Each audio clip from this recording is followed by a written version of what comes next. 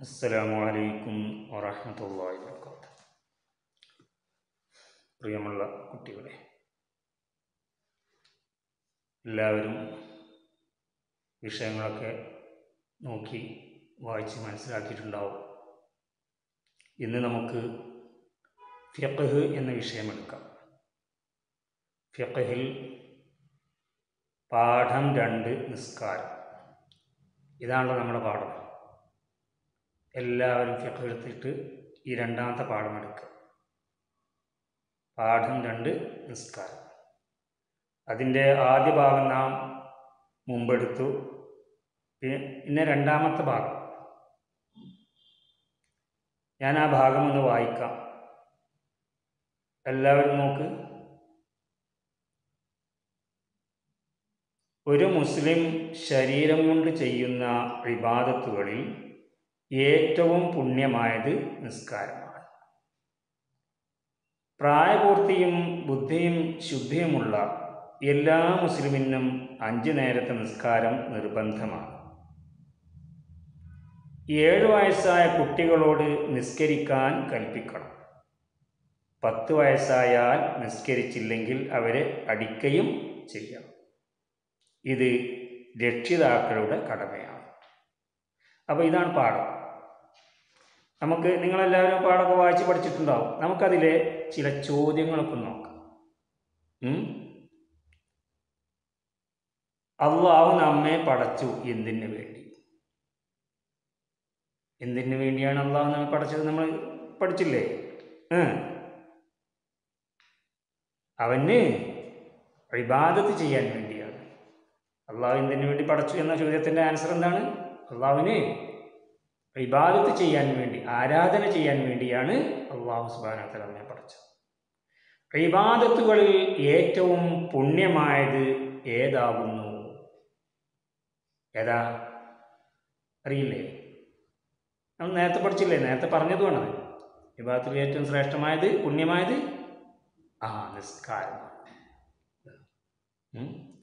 പിന്നെ അടുത്ത ചോദ്യം എന്താണ്? നിസ്കാരം നിർബന്ധമാണ്. ആർക്ക്? വിഭാഗത്തിൽ ഏറ്റവും പുണ്യമായ നിസ്കാരമാണ് എന്നാൽ ഈ നിസ്കാരം നിർബന്ധമുള്ളത് ആർക്കാണ്? നിർബന്ധമായിട്ട് ചെയ്യേണ്ടത് ആരാണെന്നും? എന്താ അതിന്റെ ആൻസർ നിങ്ങൾക്കറിയോ? നിങ്ങൾ പഠിച്ചിട്ടുണ്ടോ? ആ എന്താണ്. പ്രായപൂർത്തിയും ബുദ്ധിയും ശുദ്ധിയുമുള്ള എല്ലാ മുസ്ലിമിനും. കണ്ടോ? പ്രായപൂർത്തിയും ബുദ്ധിയും ശുദ്ധിയുമുള്ള എല്ലാ മുസ്ലിമിനും നിസ്കാരം നിർബന്ധമാണ്. അപ്പോൾ നിസ്കാരം നിർബന്ധം ആർക്കാണെന്ന് ചോദ്യത്തിന്റെ ആൻസറാണ് അപ്പോൾ പറഞ്ഞത്? ബുദ്ധിയും വേണം ശുദ്ധിയും വേണം അതുപോലെ തന്നെ പ്രായപൂർത്തിയായിരിക്കണം. ഈ മൂന്ന് കാര്യങ്ങൾ പിന്നെ മുസ്ലിമും. അപ്പോൾ ഈ പറഞ്ഞ ആൾക്കാണ് നിസ്കാര നിർബന്ധം.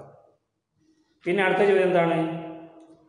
അത് രക്ഷിതാക്കളുടെ കടമയാണ്. അടുത്ത ചോദ്യം ഏതാണ്? നാലാമത്തെ ചോദ്യം. അത് രക്ഷിതാക്കളുടെ കടമയാണ്. ഏത്? ആ ഒന്ന് പറഞ്ഞു നോക്കേ. ആ ഒന്ന് ശ്രമിച്ചു നോക്ക്. എന്താണ്? ഏഴ് വയസ്സായ കുട്ടികളോട് നിസ്കരിക്കാൻ കൽപ്പിക്കണം. പിന്നെയോ? പത്ത് വയസ്സായാൽ നിസ്കരിച്ചില്ലെങ്കിൽ അവരെ അടിക്കയും ചെയ്യണം.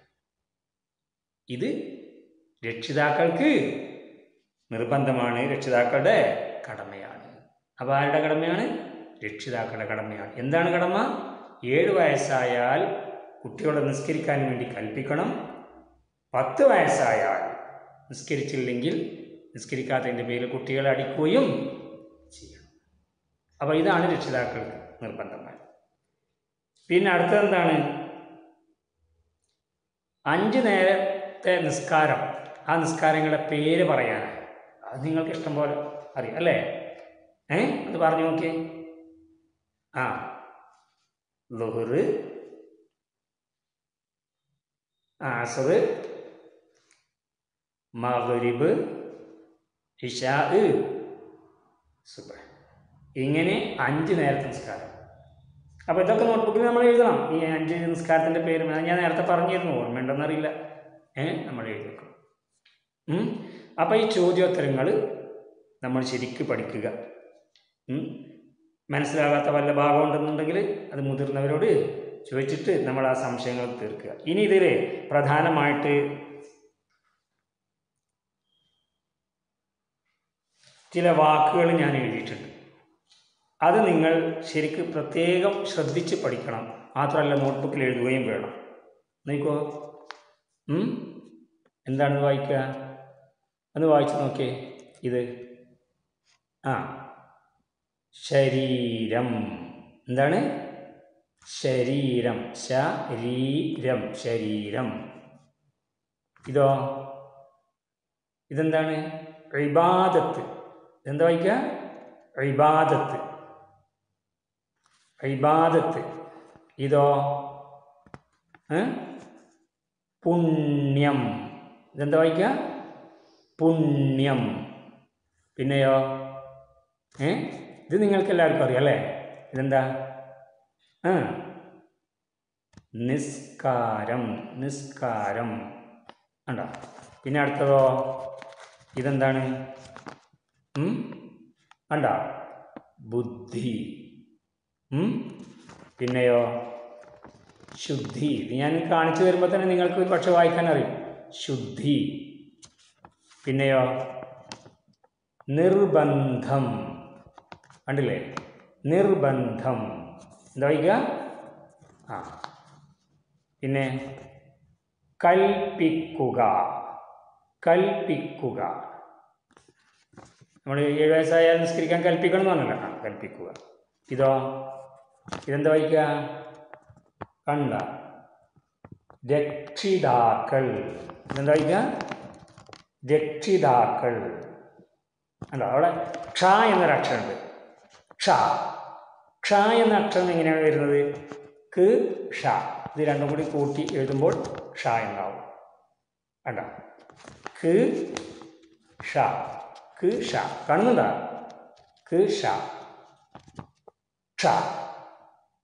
മലയാളത്തിൽ എഴുതുമ്പോൾ ഇങ്ങനെ ഉണ്ടാവും അല്ലേ? അപ്പോൾ ഇങ്ങനെ ഈ പറഞ്ഞ വാക്കുകളൊക്കെ നിങ്ങൾ എന്താക്കുക? നോട്ട്ബുക്കിലെ നോട്ട്ബുക്കിലേക്ക് എഴുതുക. എന്നിട്ട് അത് വായിച്ച് പ്രത്യേകം വായിച്ച് പഠിക്കുക. കാരണം അതൊക്കെ ബുദ്ധിമുട്ടുള്ള വാക്കുകളാണ്. അപ്പോൾ ആ വാക്കുകളൊക്കെ നമ്മൾ എന്താക്കണം? നന്നായി പല പ്രാവശ്യം വായിച്ച് എഴുതി എന്താക്കണം? നമ്മൾ അത് പിന്നെ പഠിക്കാൻ വേണ്ടി ശ്രമിക്കണം. ഇനി കൂടുതൽ ഒന്നും ഇപ്പം ഒന്നും എടുക്കുന്നില്ല ഇൻഷാല്ല നാളെ നമുക്ക് ഫിഖഹ് വേണമെങ്കിൽ പാഠം മാറ്റാം അല്ലെങ്കിൽ നാളെ ഖുർആാനോ ഏതെങ്കിലും ഒന്ന് എടുക്കാം. അപ്പോൾ അതുകൊണ്ട് ഞാൻ പറഞ്ഞതുപോലെ ക്വസ്റ്റ്യൻ ആൻസറുകൾ ചോദ്യോത്തരങ്ങൾ വായിച്ച് പഠിക്കുക. ഓരോ ചോദ്യവും വായിച്ചിട്ട് അതിന്റെ ആൻസർ ഏതാണ് കണ്ടുപിടിക്കുക എന്നിട്ട് നന്നായി വായിച്ച് പഠിക്കുക. പരീക്ഷയ്ക്ക് വേണ്ടിയിട്ട് നമ്മൾ പ്രത്യേകം തയ്യാറാവേണ്ടതുണ്ട്. അള്ളാഹു സുബാനുത്താല നമ്മെ വിജയിപ്പിക്കുമാറാവട്ടെ. അസ്സാം വലൈക്കും വറഹ്മത്തുള്ളാഹി വാത്തു